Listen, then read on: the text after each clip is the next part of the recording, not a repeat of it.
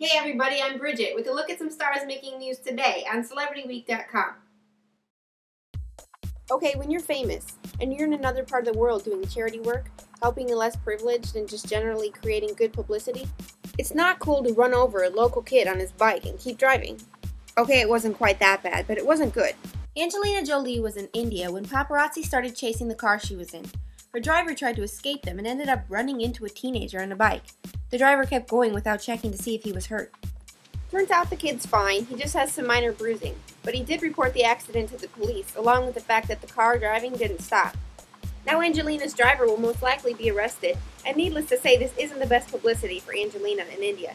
And she could have used some good publicity right now. She's already been getting criticism from Black Rights Group for choosing to play the role of Mariane Pearl, a mixed race woman, in the new movie A Mighty Heart.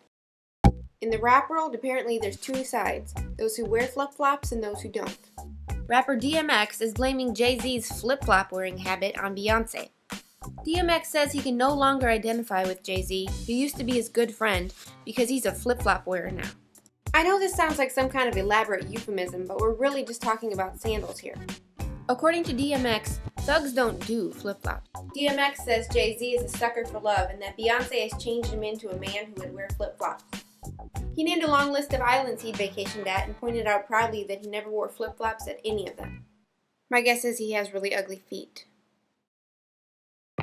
Okay, so K-Fed's getting all bossy or jealous or something. Apparently, Britney had hired Matt Felker, who was in her Toxic video, to work with her in the first video for her comeback album.